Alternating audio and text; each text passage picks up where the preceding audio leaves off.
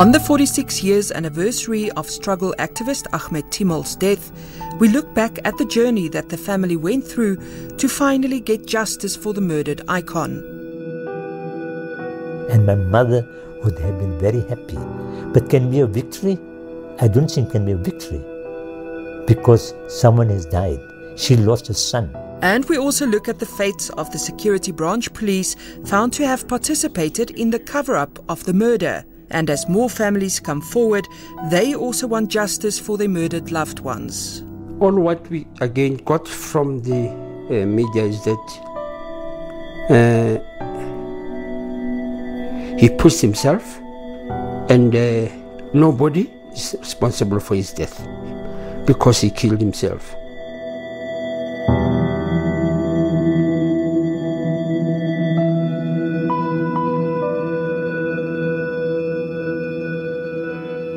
Death was brought about by an act of having been pushed from the 10th floor or roof of the John Vorster Square building to fall to the ground. Such act having been committed through dolus eventualis as the form of intent and prima facie amounting to murder. It is a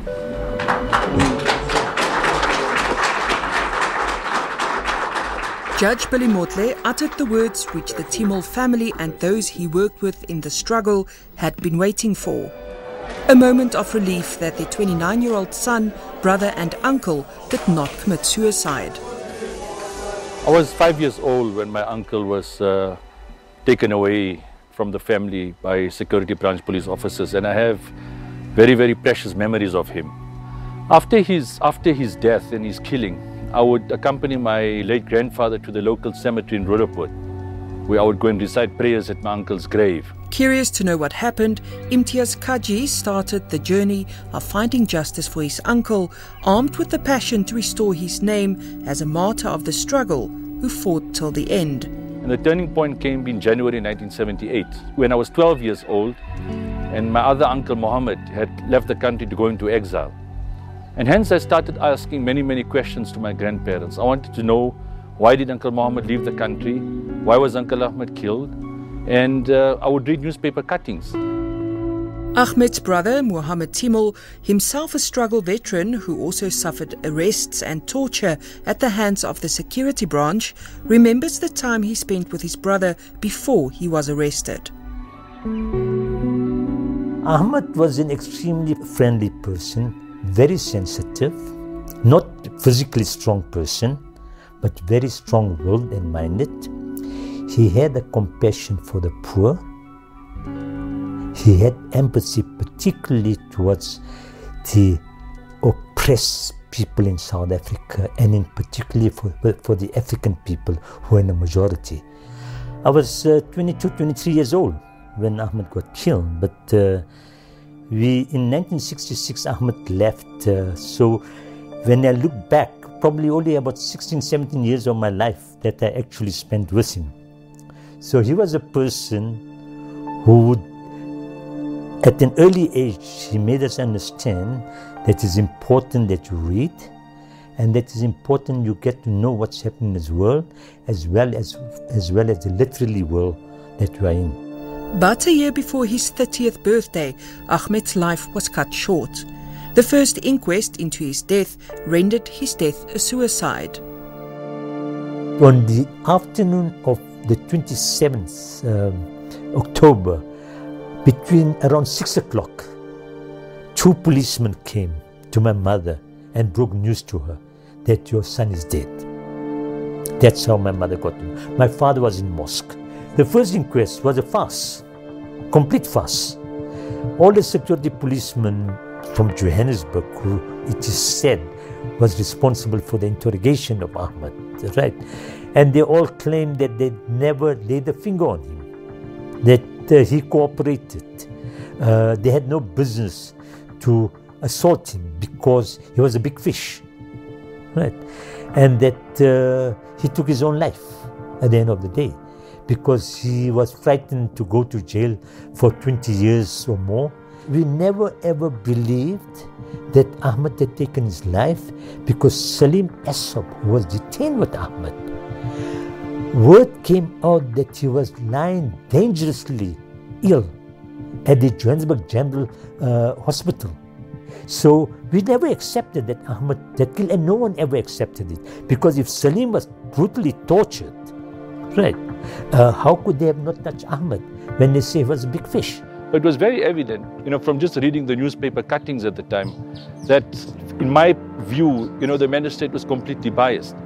And the security branch officers' versions were all corroborated by each other. And my, grand, my grandmother specifically was branded a liar by Magistrate de Villiers, you know, when she stated that uh, security branch officers had told her that she had failed to give Uncle Ahmed a hiding, and hence they were going to give him a good hiding. My grandparents were totally devastated uh, at the loss of their eldest son. And I think from the time of his death until they both departed this world, they were broken individuals. Ahmed's mother appeared before the TRC and poured out her heart about the loss of her son. I still need to know who killed my son and how is it possible that he would jump from the 10th floor and commit suicide. He was a teacher at the Indian school and was well liked by the pupils. And I cannot be expected to forgive at this stage. And then Desmond Tutu asked her, Mrs. Timol, what do you want us to do? What do you want? She said, I want the truth. I want the truth what they did to my son. I do not accept what they say happened to him. And she said in closing, if I cannot get it in this world, I will get it in the year after.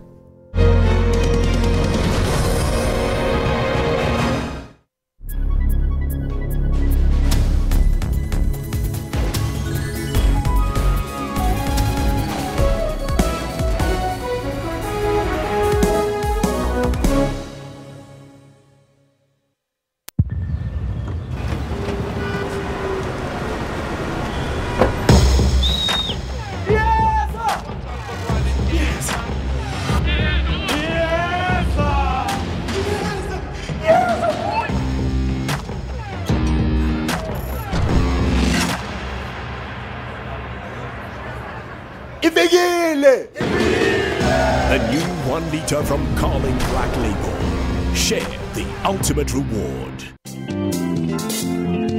Entrepreneurship um, and taking charge of your own destiny is a mindset, and it's something that should start at a very young age. I started when I was around about three or something because I have a bunch of paintings in the office. I have a teacher that teaches me and my class how to do business, and he was the one who taught me. Being an entrepreneur makes you money wise.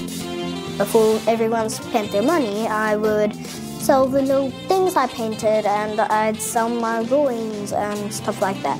In business, it is important to keep record of all your transactions. I have a passion and I love making anything, so I chose to make Play-Doh and I'm passionate about it.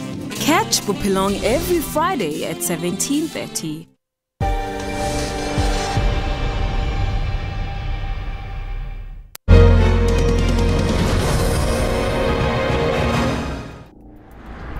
John Vorster Square, the notorious prison from which struggle icons perished.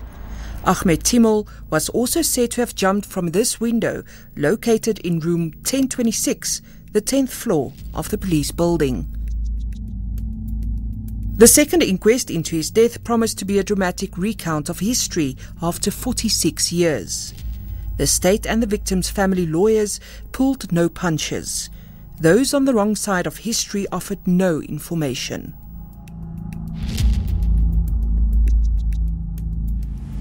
Mr. Sons, my colleague Mr. Pretorius has asked you whether you have heard of or are familiar with certain kinds of assault and torture uh, that, that were perpetrated. There's evidence that these acts of torture were perpetrated against detainees at John Vorster Square. Detainees have alleged, detainees who were detained around the same time as Mr. Timol, have alleged that they suffered such torture. Well, there's evidence before this court that detainees were kicked from the upper part of their legs repeatedly, dangling a detainee by the ankles of the stairwell. No. Never. Have you ever heard of a detainee slipping into unconsciousness? No.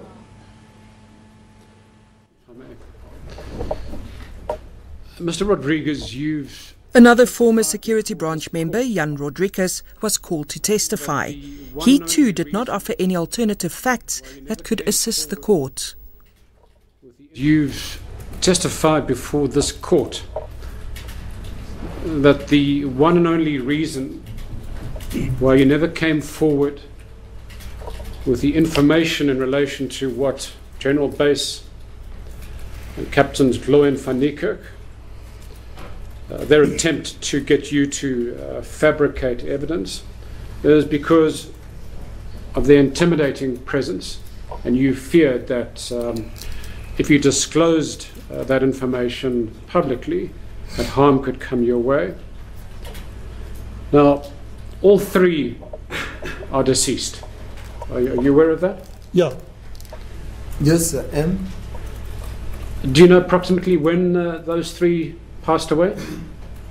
I do not have any idea as to when did they pass on, but I heard about it. Well, we, we, we will put uh, that particular information uh, to this court. But since you are aware that all three have passed away, how come you haven't come forward? Because they, they no longer pose a threat to you. There was, there was no charges against me, or there was no case against me, so it was not important for me to have come clean and, and, and say what they wanted me to say. Well, there was the Truth and Reconciliation Commission that invited people, especially members of the police service, and some generals appeared there. Those who were in command of the police, they appeared there in the TRC. Why didn't you find it necessary to go there and say there was this attempt to influence my testimony and uh, by such a person. Why didn't you do that? This was not important. Important, yeah. It's unimportant. Yeah.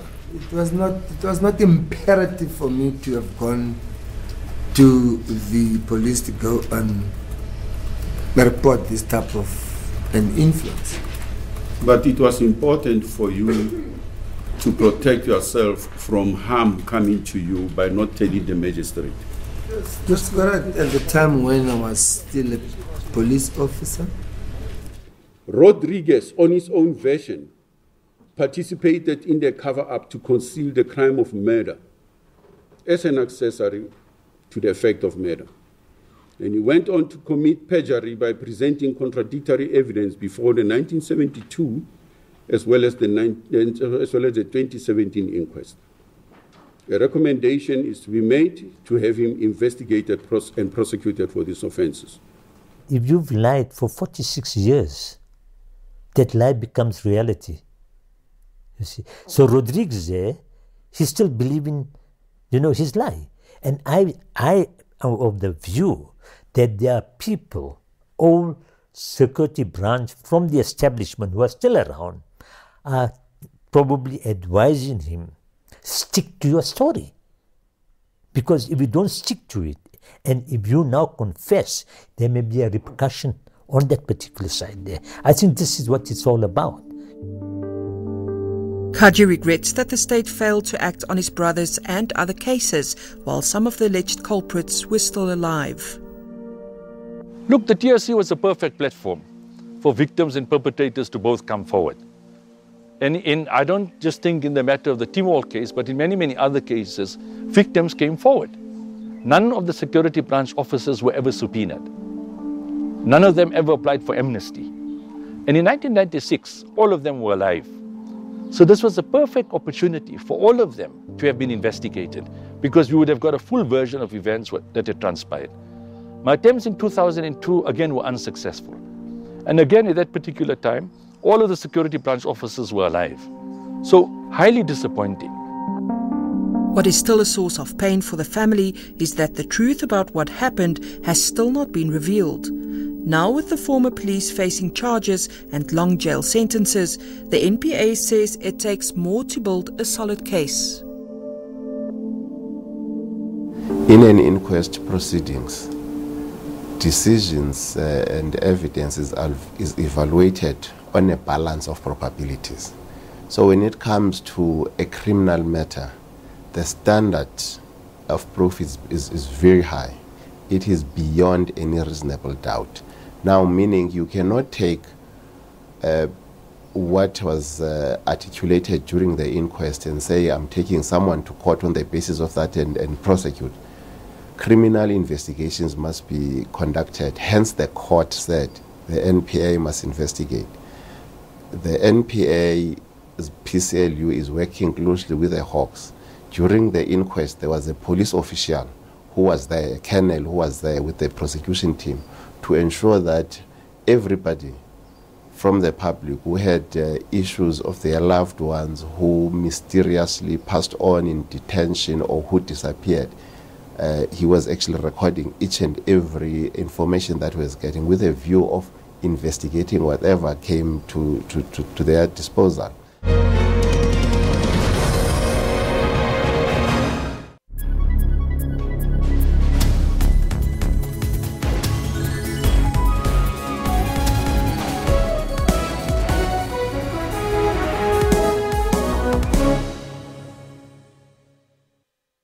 Have as regular. I'll have a new flying fish chill, please. What you got there? It's a new light flying fish. It's got 35% less calories than your regular. Try one. Thanks. That is light. Yeah. Don't let your regular weigh you down. Try new Flying Fish Chill. Thandi, what did you make of the social media reaction to the news of the death of Magaqa? People are trying to grapple with the reasons why this is happening. I yeah. don't think that's being explained nearly enough. Professor? KZN has got a history of this factionalism. Why are police not getting to the bottom of this scourge? It's a national disaster that we still are dealing with political killings. Professor Daniels, just who do you think is behind these killings then? Let me put you on the spot there. The problems in this country started when the Scorpions were disbanded. And is that what we're going to be seeing now? Deaths?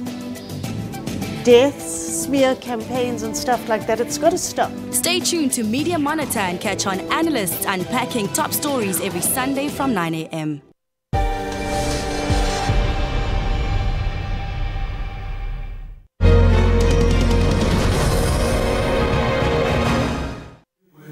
The Minister of Justice says there was no cover up and justice took its course in the inquest into the death in detention of trade unionist Dr. Neil Aggett. The inquest found that no one could be held responsible for his death. Dr. Neil Aggett was one of the many people who died under mysterious circumstances as a result of their political activities. With some, inquests were held and concluded that no one was to blame. Some offering bizarre reasons, like activists slipped on a bar of soap or that they committed suicide. People that died in the hands of the security police. There was Biko, there was Dr. Aggett, there was there were no less than over 65 people during this period of 15 years that the police actually killed people in order to punish them for taking part in underground, activities.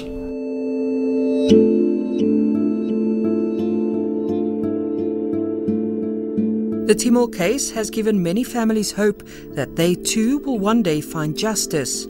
Brothers Lash and Steve Mabelane attended the case and say they hope to have their murdered brother Matthew's inquest reopened. It was said he pushed himself from the 10th floor of John Vorster Square. During 1976, around October, Matthews disappeared. Where he went to. All what we uh, had in surface was that he was in exile. But then we got the news that he skipped the country. Matthew uh, got arrested at the border, Botswana border, with six other escapees. We don't know who they are. We don't know what happened to the to the five escapees, but then he was the only one that was arrested and uh, brought to John Vorster Square. All what we again got from the uh, media is that uh, he pushed himself, and uh, nobody is responsible for his death because he killed himself. Matthews loved life, you know. He was larger than life. He wouldn't have killed himself. Matthews was raised in a Christian family. He was a politician and uh, he couldn't have just decided to kill himself in, in that fashion because I mean here is life that has to be led, you know, and then you kill you you're killing yourself. So we are not accepting that. Anti-apartheid lawyer advocate George Bizos wrote a book about the inquests that he was involved in, including the Timol case. He says the victims were not to be blamed for their own deaths. The book that I have written, No One to Blame, question mark,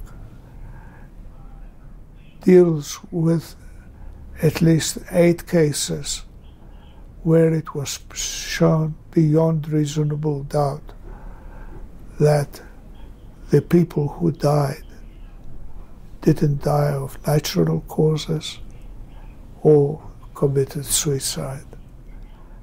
Oddly enough, Biko died. They lied.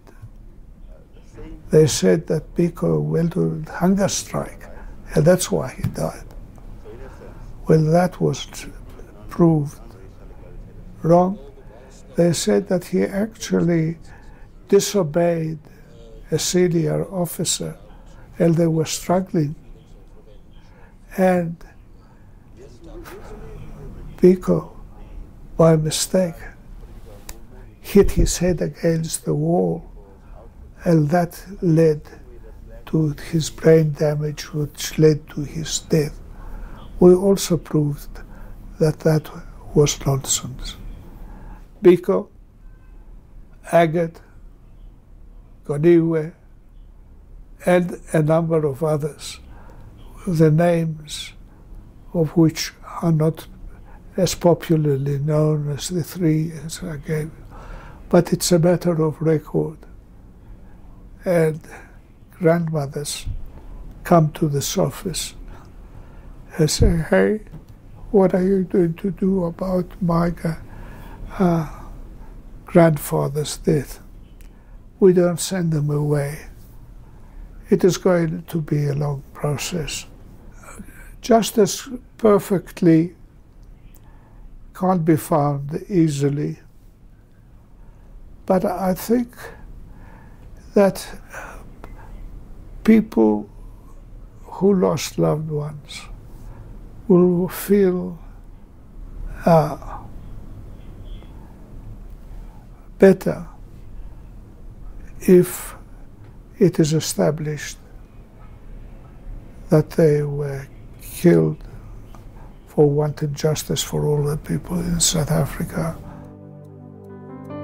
The Truth and Reconciliation Commission recommended 300 cases for prosecution, but only a few prosecutions have been seen. After many years of relentless pursuit of justice by the Simelane family, four men have recently been charged for the murder of activist Nokuthula Simelane. Even that case is yet to proceed, as those charged want the state to pay the legal costs. What has happened after their arrest, they indicated that uh, in court that uh, they would uh, apply through the Minister of Police for legal representation. That is, for the Minister of Police to fund their legal representation. The Minister of Police declined their request they have since taken that matter on review. It is now pending in the High Court. That is why uh, the matter was postponed to ensure that uh, the review application is finalized relating to their legal representation uh, funding. Any information that is brought to the head of Priority Crimes Litigation Unit would be considered. And where necessary, where the information dictates that uh, inquests that were held must be reopened, they will be reopened. I can assure you the NPA has got a huge appetite to address these cases. We've got a responsibility to ensure that the families find closure. There must be people who are accountable, even if they account posthumously. Many families do not have the resources to pursue the cases of their loved ones. What then is the role of the state in these matters? Human Rights Commission coming on board would uh, alleviate that uh, challenge of uh, resource as well as uh, uh, human resources in terms of uh, conducting the investigations. So we are really hopeful and appreciate the fact that the court has directed that they come on board. We hope that that would enable the police investigators to fast track their investigations uh, so that we ensure that the, the families of uh, those who passed on uh, find some closure. On the 46th anniversary of Ahmed Timol's death, just after the court found he was murdered, the Timal family sees this as a bittersweet victory after many years of knocking on doors. I think a huge sense of relief that the annals of history will now correctly reflect that Ahmed Timol did not commit suicide, but that he was rather murdered in police custody. And my mother would have been very happy. But can be a victory? I don't think can be a victory because someone has died. She lost a son.